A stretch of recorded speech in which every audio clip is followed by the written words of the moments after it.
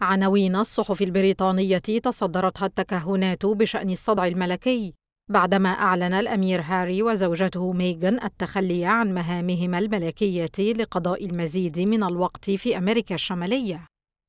وقالت متحدثة إن ميغان دوقة ساسكس عادت إلى كندا حيث بقي ابنهما آرتشي بعدما قضى الزوجان ستة أسابيع في نهاية العام الماضي ثم عادا إلى بريطانيا ليعلنا تخليهما عن الواجبات الملكية وصياغة دور أكثر تقدمية لنفسيهما.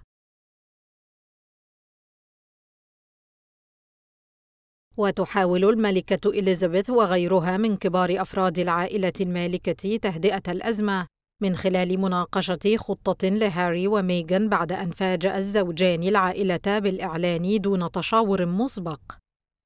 وقال الزوجان إنهما درسا الأمر لعدة أشهر قبل اتخاذ القرار الذي يعني تقسيم وقتهما بين بريطانيا وأمريكا الشمالية للسماح لهما ولآرتشي بالمساحة التي يحتاجون إليها. وأضاف أنهما يعتزمان تحقيق الاستقلال المالي